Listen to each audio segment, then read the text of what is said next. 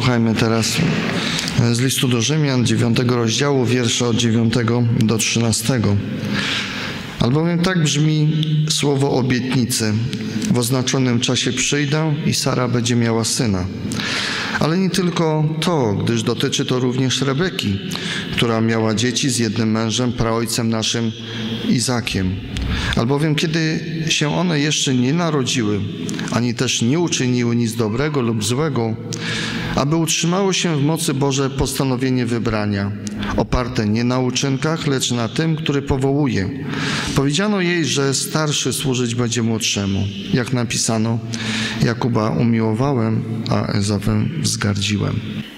Drodzy bracia i siostry w Jezusie Chrystusie Panu naszym, drodzy przyjaciele, przed chwilą był ba czytany bardzo ważny fragment z listu do Rzymian z rozdziału dziewiątego, ale na jednym wierszu się chciałbym tutaj skupić.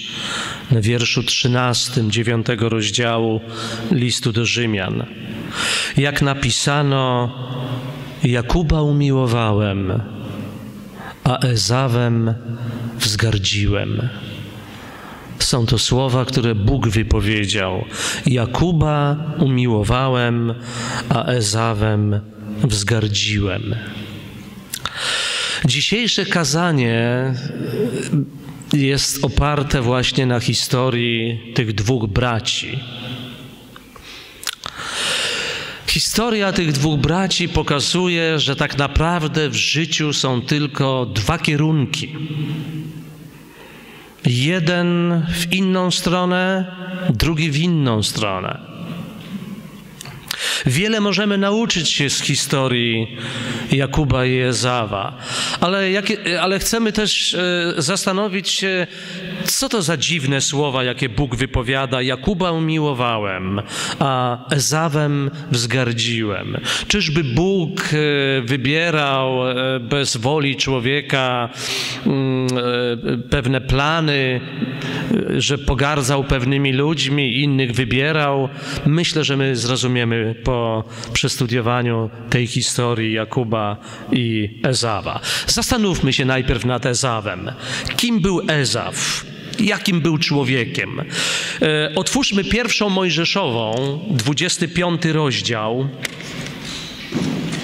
Księga Rodzaju, czyli pierwsza Mojżeszowa, 25 rozdział i tam będę czytał wiersze od, 30, od 31 właściwie od 30 wiersza. Rzekł wtedy Ezaf do Jakuba: Daj mi proszę skosztować nieco tej oto czerwonej potrawy, bo jestem zmęczony. Dlatego nazwano go Edom. Na to rzekł Jakub: Sprzedaj mi najpierw pierworództwo twoje. A Ezaf rzekł: Oto jestem bliski śmierci, na cóż mi więc pierworództwo? Jakub rzekł: Przysięgnij mi wpierw. I przysiągł mu i sprzedał pierworództwo swoje Jakubowi. Wtedy Jakub podał Ezawowi chleb i ugotowaną soczewicę, a on jadł i pił. Potem wstał i odszedł. Tak wzgardził Ezaw pierworództwem. Są to bardzo ważne słowa. One pokazują, jakim człowiekiem był Ezaw. Ezaf przede wszystkim był obojętny dla spraw duchowych.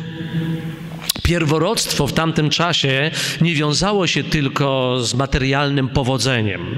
Pierworodny miał być też takim kapłanem, miał być takim liderem duchowym. Pierworodny prowadził nabożeństwa, miał prowadzić ludzi do Boga. Zauważmy, że mamy tutaj człowieka, który za zwykłą strawę z zupy soczewicowej pozbawia się Bożego błogosławieństwa, pogardził Bożą prawdą.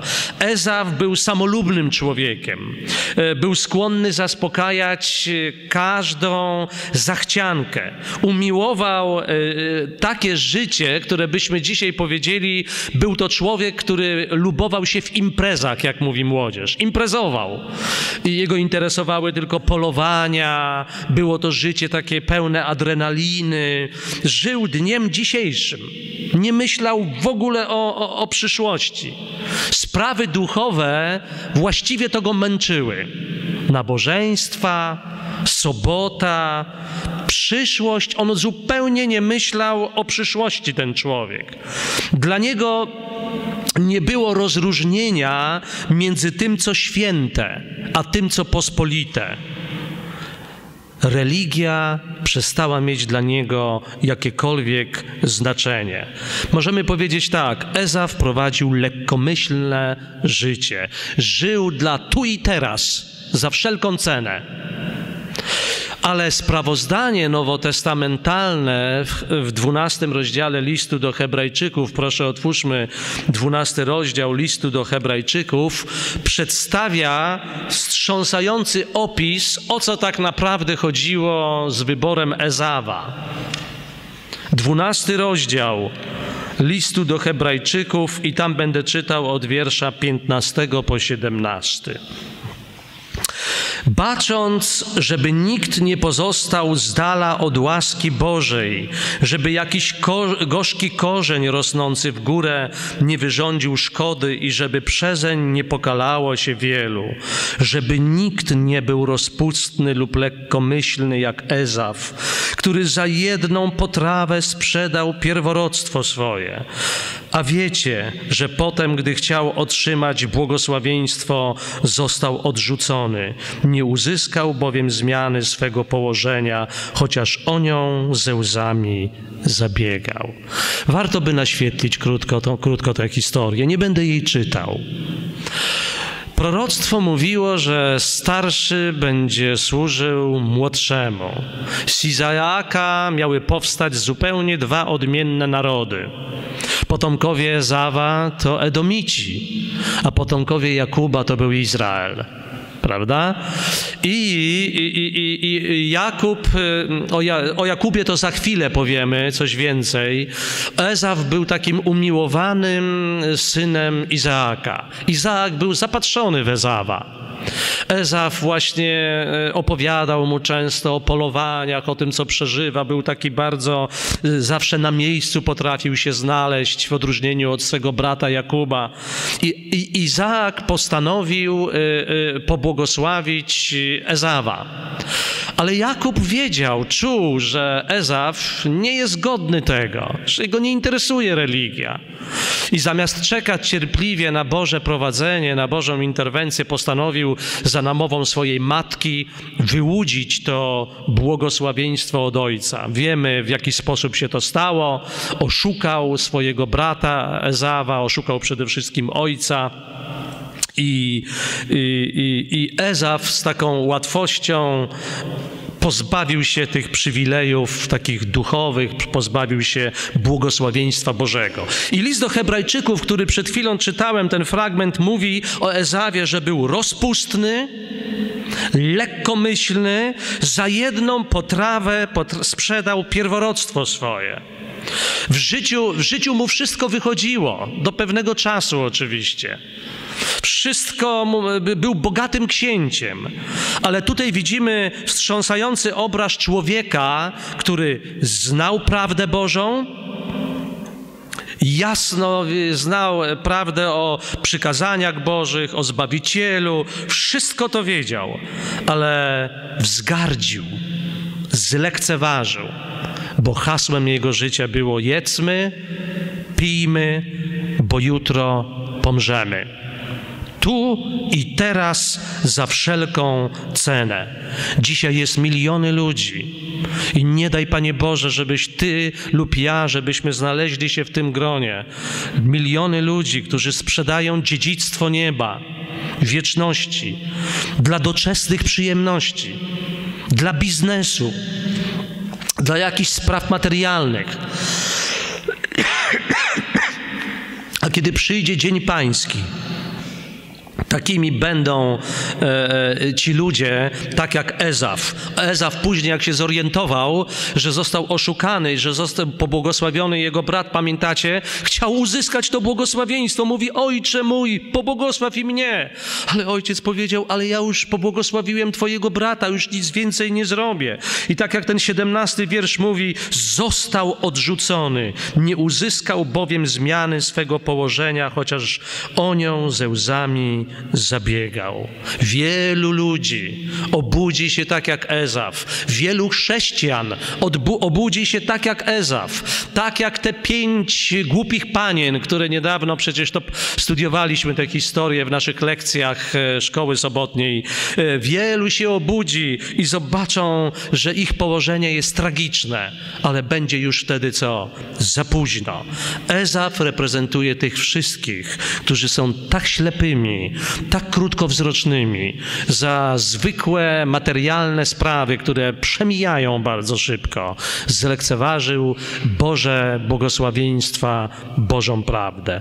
Ale teraz przyjrzyjmy się Jakubowi, bo, bo słowa e, z listu do Rzymian są intrygujące z dziewiątego rozdziału. Jakuba umiłowałem, a Ezawem wzgardziłem. Tak przy okazji e, rozumiemy ten y, y, tak zwany, to się nazywa taki semicki sposób myślenia, że za wszystkimi działaniami ludzkimi zawsze Bóg stał. W tym sensie Bóg stał, że dopusty były Boże. Nie Pan Bóg wzgardził Ezawem, prawda? To Ezaf wzgardził Bogiem. Ezaf miał prawo wyboru i mógł być błogosławiony również przez Boga, ale wybrał taki, a nie inny kierunek. Ale teraz przyjrzyjmy się człowiekowi, które, o którym Bóg powiedział: Jakuba umiłowałem. Co możemy powiedzieć o Jakubie na podstawie tych opisów biblijnych? Jakub, jak wiemy, e, był, e, jak- jakbyśmy przeczytali książkę Patriarchowie i Prorocy o Jakubie i Ezawie, polecam ten rozdział, jest niesamowity. Dużo się dowiedziałem na podstawie też tego rozdziału. Jakub e, był, był, był, był człowiekiem, który cenił Bożą prawdę. Był religijnym człowiekiem, zależało mu na Bożym błogosławieństwie. Myślał o przyszłości. On nie był taki krótkowzroczny. Był ukochanym synem Rebeki, tak? E, matki swojej. E, był, był takim, moglibyśmy powiedzieć o Jakubie, był domatorem, tak? Nie lubił takiego hałaśliwego życia, e, e, tak jak w odróżnieniu od Ezawa, który ciągle gdzieś był poza domem. Jakub cenił sobie religię, cenił sobie Boże prawdy, ale wiemy, co się wydarzyło. W wyniku oszustwa, gdzie razem ze swoją matką e, e, dokonali właśnie tego oszustwa, żeby oszukać Izaaka, wyłudził to błogosławieństwo, a przecież Pan Bóg by go pobłogosławił, gdyby cierpliwie czekał. Tak przy okazji, widzicie, kochani, tak to jest, jak się bierze sprawy w swoje ręce. Nie w Boże ręce, nie oddajemy Boże ręce, tylko w swoje ręce. Jak po swojemu chcemy realizować sprawy życiowe i jakim to, jak to później zaowocuje, może nawet fatalnymi konsekwencjami. Ale wróćmy do Jakuba. I w wyniku tego oszustwa Ezaw wiemy, że zagniewał się, był gotowy zabić swojego brata. I Jakub, pamiętacie co się stało? Musiał opuścić co? Rodzinny dom. Nigdy się już więcej z matką swoją nie spotkał. Ze strachu przed rozgniewanym Ezawem stał się takim tułaczem. Oszustwo, e, kombinatorstwo takie konsekwencje e, przyniosło. I popatrzmy teraz, jakbyśmy tak popatrzyli na życie Jakuba, może tak tylko krótko, to jego życie było pasmem rozmaitych trudności, kłopotów, tak? Później, kiedy już u Labana pracował, żeby te żony, Rachelę wspaniałą mieć, później za tą Leę musiał odpracowywać, był oszukiwany. Przy okazji jest taka zasada, jeżeli ty oszukujesz, to i ciebie będą oszukiwać. We wszechświecie nic nie ginie. To, co siejesz, to będziesz zbierał, tak? Jego życie było pasmem naprawdę kłopotów. Wtedy był tułaczem, wędrował, nie znał Boga jeszcze. On nie znał jeszcze Boga. Był religijnym człowiekiem, ale nie znał, nie znał Boga. I pewnego, y, y, I pewnego dnia, kiedy tak leżał, y, kamień by- był jak, jak y, na kamieniu głowę położył, spał. Sen miał wspaniały. A jaki był to sen? Pamiętacie, co mu się śniło? Drabina. Mówimy drabina Jakubowa. Ta drabina reprezentowała Chrystusa, Zbawiciela tak naprawdę, nie? I Pan Bóg go zapewnił, że będzie z nim, że będzie mu w jakiś sposób prowadził, błogosławił. Ale teraz popatrzmy na wspaniałą prawdę, która natchnie nas nadzieją. Życie Ezawa nie wyglądało tak jak ży- życie Jakuba. Ezaf właściwie nie miał żadnych kłopotów, a, a, a Jakub to miał nieustannie problemy i kłopoty. A Bóg powiedział: Jakuba umiłowałem, a Ezawem zgardziłem. I mimo błędów Jakuba, Jakub wybrał właściwy kierunek. Zapamiętajmy tą prawdę. W życiu możesz popełnić różne błędy. Nawet przyjdzie ci może zapłacić za te błędy. I ja to wiem na podstawie mojego życia, już jako chrześcijanin, już jako adwentysta dnia siódmego. Liczą się, e, nie liczą się tak naprawdę błędy. Liczy się kierunek, jaki mamy. Kierunek Jakuba był właściwy. On za Bogiem chciał iść. Interesowały go sprawy religijne. Pamiętajmy, że błędy i kierunek to zupełnie coś innego. Ezaf miał inny kierunek. Niewłaściwy kierunek. Nowy Testament nazwał go rozpustnym, e, e, lekkomyślnym, a kierunek Jakuba był właściwy. Jeżeli nawet popełnisz błędy jakieś, ale masz właściwy kierunek, Bóg wyprostuje to wszystko. W tygodniu miałem lekcję biblijną, spotkałem się z pewnym młodym człowiekiem. Był załamany różnymi sytuacjami. Zrezygnowałem z tematu, jaki miałem z nim wcześniej, plano- zaplanowałem przeprowadzić i opowiedziałem mu historię apostoła Piotra. Jak zaparł się Jezusa Chrystusa na dziedzińcu. Kiedy kobieta tam pewna, inni mówili, to ty jeszcze z tym Galilejczykiem. A pamiętacie, jak Piotr zareagował? Ja? Ja nie znam tego człowieka. I spełniło się proroctwo, że zanim kur dwa razy zapieje, ty się trzykroć mnie zaprzesz. I Ellen White opisuje, spotkał się wzrok Jezusa Chrystusa, który tak bardzo potrzebował wsparcia wtedy, który był sądzony, poniewierany, policzkowany, spotkał się ze wzrokiem Piotra. I Piotr, jak zobaczył y, wzrok Pana Jezusa, taki, taki wzrok nie potępienia, ale rozczarowania, bólu, Ewangelia Marka sprawozdaje, że się załamał i wybiegł. I wydawało się, że dla Piotra nie ma żadnej nadziei. Zaparł się Jezusa Chrystusa, tak jak się zaparł e, Judasz. Judasz za pieniądze, a ten słowami się zaparł. I, i, i, I, spróbujmy sobie teraz wyobrazić, jak się teraz miotał ten Piotr. Może się błąkał gdzieś tam ulicami Jeruzalemu, e, e, no, spotykał się może z wystraszonymi pozostałymi apostołami, być może potępiali go ci ludzie. Ale anioł powiedział Marii Magdalenie, powiedzcie też Piotrowi, że ten, który zmartwychwstał, wyprzedza do Galilei. A później nad Morzem Tyberiackim zmartwychwstały Pan Jezus, pamiętacie, rozmowę przeprowadza po śniadaniu. Najpierw śniadanie, a potem ważne sprawy. Taka zasada niby, tak? Ale wtedy powiedział takie wspaniałe słowa: Piotrze, czy ty mnie miłujesz? Panie, ty wiesz, że ciebie miłuję. Pasiowieczki moje. Trzy razy padło to pytanie. Co to oznaczało? Piotrze, ja mam dla ciebie misję. Ja mam dla ciebie yy, plan. Nie myśl już o przeszłości. Masz przebaczone. Zaufałeś sobie, zaufałeś swojej sile, dlatego upadłeś. Ale jeżeli ty mnie miłujesz tak naprawdę, to teraz paś owieczki moje. Patrz, ile jest ludzi, którzy potrzebują twojego, twojej pomocy. Dla Piotra przyszło nowe życie. I wtedy powiedziałem, kiedy opowiedziałem historię apostoła Piotra temu młodemu człowiekowi, posłuchaj, łaska Boża nie rujnuje, łaska Boża odbudowuje. Łaska Boża na nowo powołuje. I tutaj widzimy Jakuba. Wydawałoby się, że Jakub ma przegrane już. Grzech yy, ciążył mu, tak?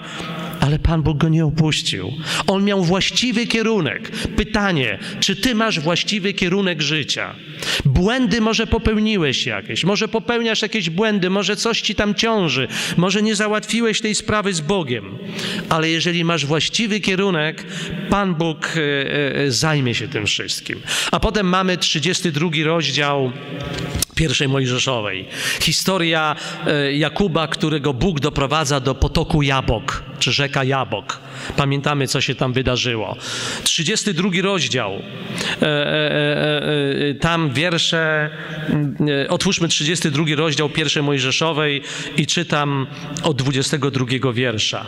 Ale wstawszy tej jeszcze nocy, wziął obie żony swoje, obie służące swoje i jedenastu synów swoich i przebył brud Jaboku, a wziąwszy je, przeprawił je przez rzekę. Następnie przeprawił też to, co miał. Jakub zaś pozostał sam i mocował się z nim pewien mąż aż do wzejścia zorzy. A gdy widział, że go nie przemoże, uderzył go w staw biodrowy i zwiknął staw biodrowy Jakuba, gdy się z nim mocował i rzekł, puść mnie, bo już wzeszła zorza. Ale on odpowiedział, nie puszczę cię, dopóki mi nie pobłogosławisz. Wtedy rzekł do niego, jakie jest imię twoje? I odpowiedział, Jakub. Wtedy rzekł, nie będziesz już nazywał się Jakub, lecz Izrael, bo walczyłeś z Bogiem i z ludźmi i zwyciężyłeś. A Jakub zapytał, mówiąc, powiedz mi, proszę, jakie jest imię twoje? Na to odpowiedział, Dlaczego pytasz o imię moje? I tam mu błogosławił. I nazwał Jakub to miejsce Peniel, mówiąc: Oglądałem Boga twarzą w twarz, a jednak ocalało życie moje. A gdy przechodził przez Peniel, wschodziło nad nim słońce, on zaś utykał z powodu biodra swego. Tu był zwrotny punkt w życiu Jakuba. Przez całe życie jego ciążyło mu to, co się stało wcześniej, wiele lat wcześniej Oszukał ojca, oszukał brata. Nie miał pokoju w sercu, Bóg z niego nie zrezygnował. Nieraz nam się wydaje, że czas powoduje, że grzechy porosną trawą. Nigdy. Wszystko porośnie trawą, ale nie grzechy. Grzech prędzej czy później upomni się. I jeżeli go nie załatwię z Bogiem, z Jezusem, to ten grzech mnie zniszczy po prostu.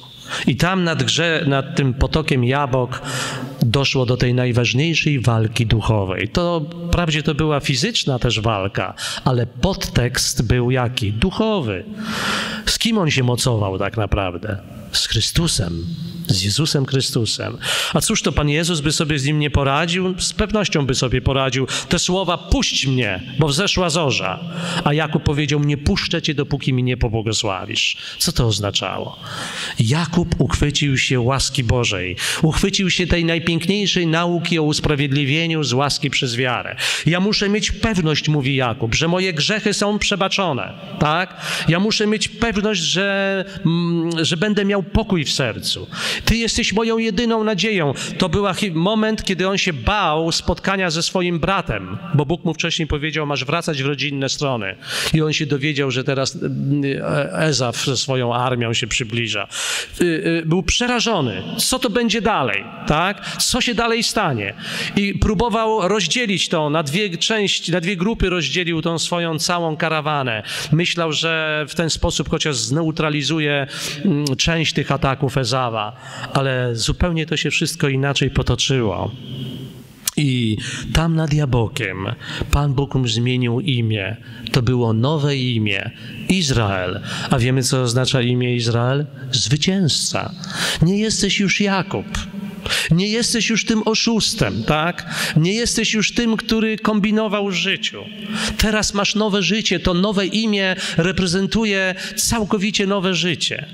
I dla mnie dobrą nowiną jest to, że Bóg nas nie opuszcza nawet wtedy, kiedy z własnej głupoty i z własnej winy narobimy sobie bałaganu w życiu poprzez niewłaściwe decyzje, ale jeżeli kierunek mamy właściwy, ten najwłaściwszy kierunek, Bóg to wszystko cudownie pokieruje. Popatrzmy na 33 rozdział, jak doszło do spotkania z Ezawem. Pierwsze cztery wiersze. A gdy Jakub podniósł oczy swoje, zobaczył, że Ezaw nadchodzi, a z nim 400 mężów. Rozdzielił więc dzieci pomiędzy Le, Rachele i dwie służące. Na przedzie ustawił służące wraz z ich dziećmi, Le z jej dziećmi za nimi, Rachele zaś z Józefem na końcu. Sam natomiast poszedł przed nimi i pokłonił się siedem razy aż do ziemi, zanim zbliżył się do brata swego. Eza wybiegł naprzeciw niego, objął go, rzucił mu się na szyję i ucałował go i rozpłakali się. Jakub nie zginął z ręki Ezawa. Czy widzimy, jak Bóg potrafi pięknie zainterweniować? Mieliście takie sytuacje w swoim życiu, że baliście się jakichś sytuacji, może baliście się pewnych ludzi, nie? Ja miałem takie sytuacje. Byłem, jestem generalnie człowiekiem, który się na zapas lubi martwić. Czy jest ktoś, kto nale, też taki jest, czy tylko sam taki jestem? No, są też takie osoby. Chwała Bogu, że nie jestem sam, dlatego Pan Bóg mi dał żonę taką, która się w ogóle nie martwi na zapas. Ona mówi, będę się martwiła wtedy, kiedy, kiedy już to będzie. A ja nieraz jestem zły, bo chciałbym się z nią razem martwić, a ona nie chce się martwić. No to tak na marginesie. I zobaczcie, Jakub był przerażony, co to będzie. A, ta, a tutaj widzimy zupełnie co innego. Ezaf ma zupełnie inne nastawienie do niego. Poku, e, czytamy, że rzucili się sobie na szyję i ucałowali się wzajemnie i rozpłakali się. Takie było wspaniałe spotkanie właśnie Ezawa z Jakubem. Ezaf oczywiście nigdy nie zmienił już swojego kierunku.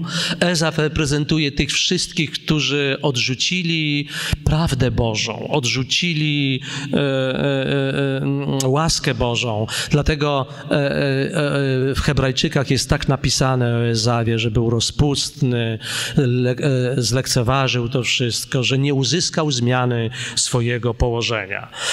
Jakuba umiłowałem, Ezawem zgardziłem, mówi Bóg.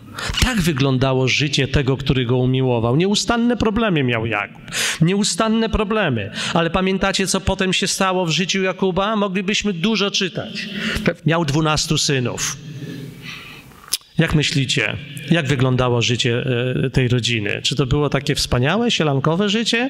Czy on miał takie radości e, ze swoich synów? Miał nieustanne kłopoty z powodu swoich synów. Bo, mąż Boży, Jakub, dwunastu synów. To mi się wydaje, że ja mam tak dużo dzieci, czterech synów, a ten miał dwunastu i różne charaktery. I to byli synowie, który, którzy powodowali, że tak naprawdę Jakub miał tylko zgryzoty z nimi. A pewnego dnia córka Dina została, pamiętacie, przez pewnego człowieka, Hamora, Psychema, przepraszam, Hamora, zgwałcona. Tamci bracia, jak się dowiedzieli, to zrobili rzeź. Zobaczcie, Jakuba umiłowałem, Ezawem zgardziłem, mówi Bóg. Tak wyglądało życie, które Jakuba, tego, którego Bóg umiłował. A Ezaw w tym samym czasie wyprowadził sobie życie na luzie, był księciem, polowania, spokojnie by się wydawało, a ten nieustannie przeżywał jakiś ból, tak? Po stracie Racheli, kiedy stracił Rachelę Jakub, pierwsza Rachela odeszła, to było straszne dla niego tak samo. Miłość całą przelał na kogo? Na Józefa. Prawda? Józef to był taki szczególny jego syn. Błędy popełnił Jakub. Wywyższał Józefa ponad wszystkich synów. E, tamci mu tylko ból sprawiali i kłopoty, a on był takim dobrym chłopakiem. Donosił jak trzeba było prawda, na swoich braci. Przychodził do, do tatusia i mówił, a oni to robią to i to. I tak e, w atmosferze takiej Józef wzrastał pewny siebie, że ma takie tutaj profity dobre, a tamci jego bracia coraz bardziej nienawidzili Józefa. No i wiemy, co się stało. W tym samym czasie, kiedy Ezaf e, żył bez problemów, Jakub miał straszliwe problemy. Sprzedali go do Egiptu, jego ukochanego, ukocha, ukochanego syna. I tak wyglądało życie tego, którego Bóg umiłował. A kiedy, może na moment jeszcze jeden tekst tutaj, 47 rozdział pierwszej Mojżeszowej, kiedy przed Faraonem stoi Jakub, 47 rozdział, pierwsza Mojżeszowa, wiersz 8 i 9 przeczytam. I rzekł faraon do Jakuba: Ile jest lat życia twego? Jakub powiedział faraonowi: Czas mojego pielgrzymowania wynosi 130 lat.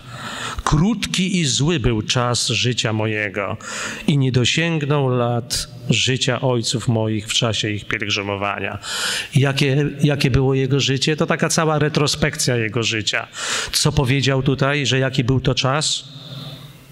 Krótki i zły. Jakuba umiłowałem, Ezawem zgardziłem. Pytanie, czy tak ma wyglądać życie człowieka, który podąża za Bogiem? Czy tak będzie wyglądało jego życie? Tylko trudy i znoje i doświadczenia? Bardzo często może tak wyglądać. A jakie było życie Jezusa Chrystusa? Nikt nie był tak doświadczony jak nasz Zbawiciel. Słowo Boże mówi w Izajaszu 53 rozdziale, wzgardzony był i opuszczony przez ludzi, mąż boleści. Na każdym etapie jego życia były ciągle pułapki na niego przygotowane. Od momentu już od narodzenia, można powiedzieć, aż po kres, po krzyż. I my jesteśmy Jego naśladowcami. Nie dziwmy się, że będziemy przeżywać kłopoty nieraz, problemy, dlatego że te kłopoty i problemy będą nas popychały do tego, żeby zaufać Jezusowi Chrystusowi. A Eza wprowadził lekkomyślne życie. Jakuba umiłowałem, Ezawem zgardziłem, ale mam dobrą nowinę. Otwórzmy 21 rozdział objawienia. Popatrzmy na wspaniały opis. Jest tam opis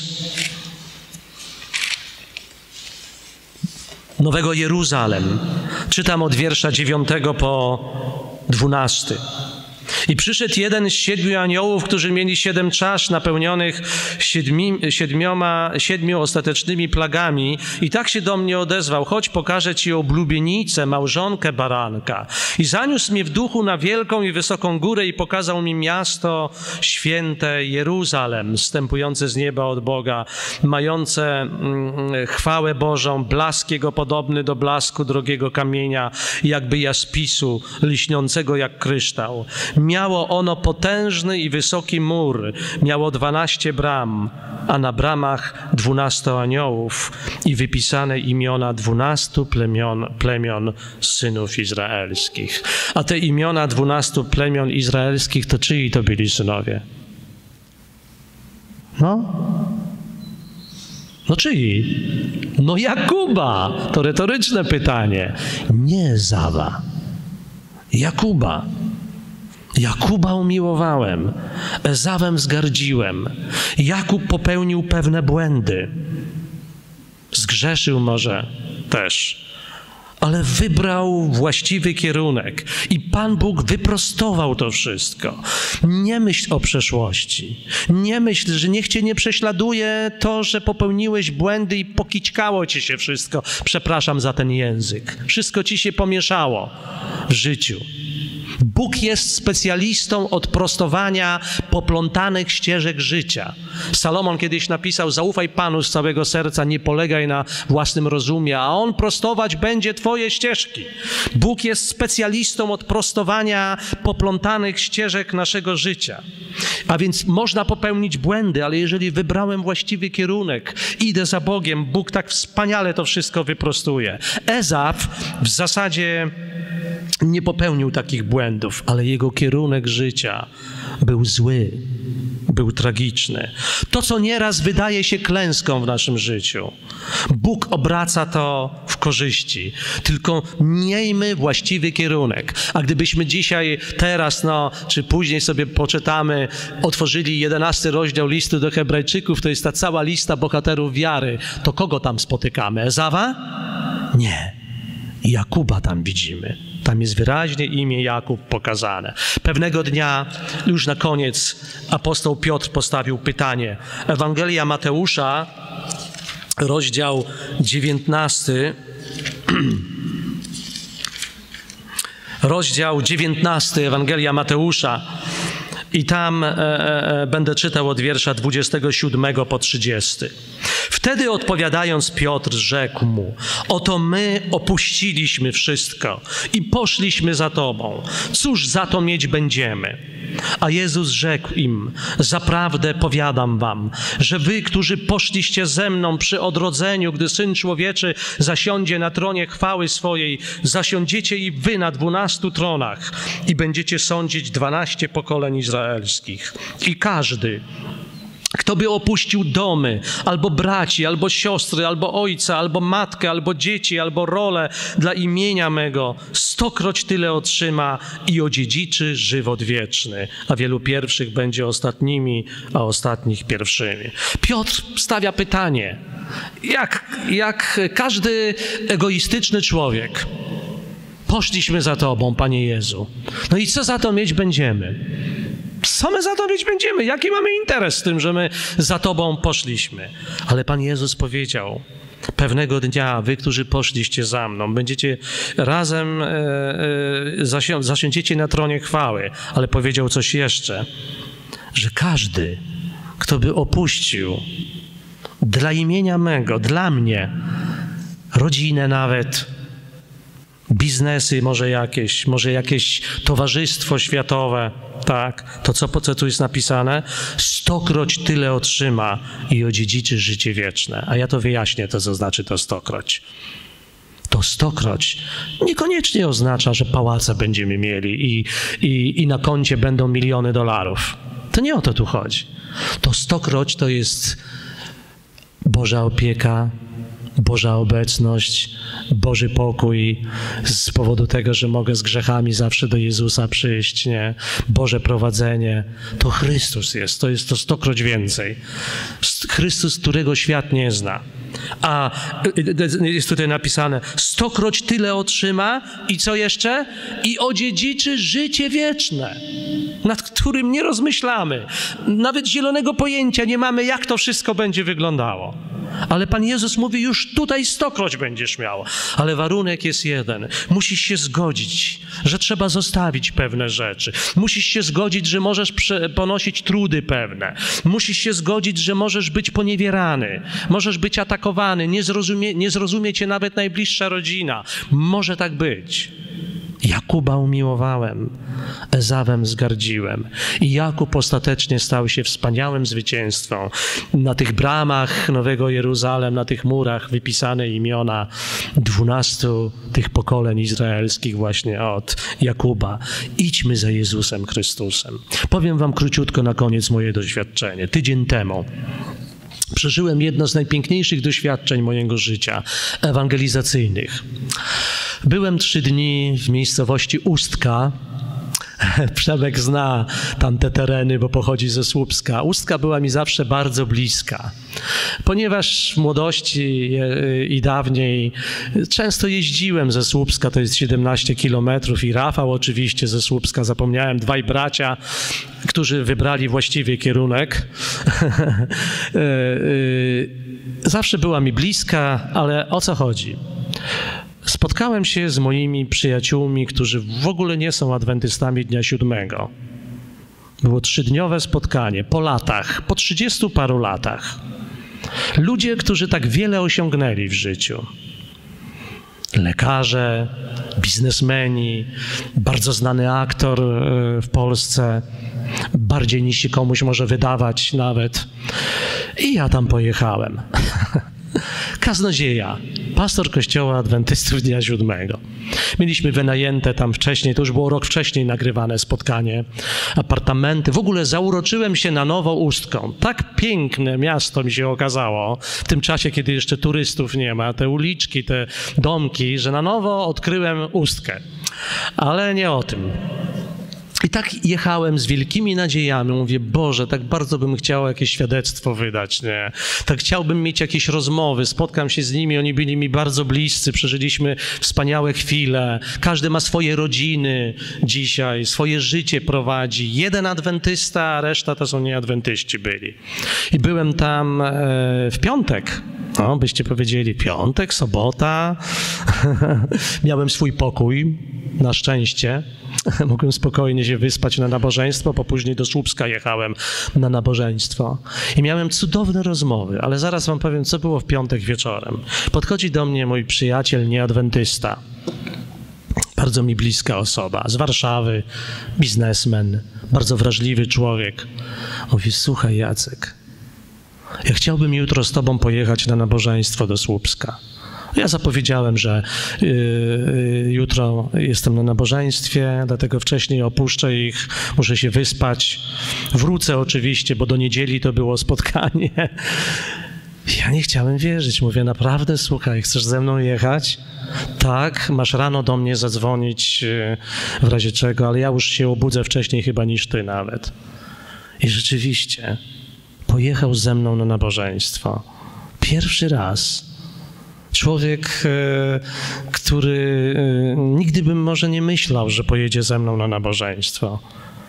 I to krótko tam z Ustki do Słupska jest zaledwie 17 kilometrów. Rozmawialiśmy i uczestniczył w nabożeństwie. I jak wracaliśmy, powiedział mi: Jestem taki szczęśliwy, że mogłem być na nabożeństwie powiem tak, chciałem być na nabożeństwie, żeby zobaczyć Cię w akcji też, nie? Bo wiem, że przemawiasz, że jesteś pastorem, ale jestem taki szczęśliwy, że byłem na nabożeństwie. Wtedy no, była w ogóle taka miła atmosfera. Bóg tak naprawdę pokierował, żeby takie właściwe też wypowiedzi były w szkole sobotniej, nie? Ale było mi tak, tak, tak, tak bardzo mi dobrze było, że on pojechał ze mną na nabożeństwo. I dużo rozmawialiśmy o tym. I, i, i, i na tym nabożeństwie, przed nabożeństwem poprosił mnie, żebym się pomodlił o dziecko mm, jego przyjaciela z Warszawy, o takie autystyczne dziecko. Ja się pomodliłem. A później, yy, yy, po, ja, ja już skrócę to, ja miałem wiele ciekawych rozmów, naprawdę, o Bogu, o Chrystusie. Kiedy wróciłem do domu w niedzielę, zmęczony, do pierwszej w nocy. Rozmowy były do drugiej w nocy. No ja o pierwszej poszedłem spać. Inni do rana tam siedzieli jeszcze, nie? Ale y, byłem taki szczęśliwy, że mogłem wydać świadectwo, że mogłem o Jezusie powiedzieć. Ale powiem wam jeszcze o czymś na koniec. To jest końcówka już tego kazania maila napisałem. On mi właściwie napisał maila na drugi dzień, e, że był bardzo szczęśliwy, że, e, że mógł być na nabożeństwie, że to wiele mu dało i że musimy się tak nagadać, nie? Spotkamy się na pewno, wierzę, w Warszawie, jeśli nie w Słupsku, to w Warszawie, ale ja mu napisałem tak od serca, Czasami mi się wydaje, ale to tylko tak mi się wydaje, że może dziwakiem jestem, że mój światopogląd jest inny trochę, no bo jest, że może nie pasuje do was, może tak, tak kokieteryjnie może napisałem trochę, a on mi napisał takiego pięknego maila, takie piękne zdanie, mówi Jacek, Gdyby ciebie nie było w tej grupie, to ta nasza grupa byłaby uboga. Było nas tam 14 osób, nie? Tak bardzo się cieszę, że mogliśmy się spotkać. Tak bardzo się cieszę, że ty byłeś, bo jesteś potrzebny tam. Jakuba, i w tym czasie, kiedy byłem w Fustce, przeżywałem swoje trudności pewne. Nikt nie wiedział o tych trudnościach. Miałem bardzo ciężki tydzień poprzedni. Bardzo. Nie ma czasu i nie miejsce żeby o tym mówić. To było dla mnie jak balsam nawet, że mogę oderwać się i że mogę wyjechać do Ustki na trzy dni. Z czego Bogu jestem bardzo wdzięczny Panu Bogu, że mogłem być te trzy dni poza domem, poza, poza adwentystami Dnia Siódmego, ale nie zapomniałem, że jestem adwentystą Dnia Siódmego. I pokazało mi to, że jest tylu ludzi wrażliwych jeszcze, tylu ludzi, żebyśmy nie przekreślali ludzi w świecie.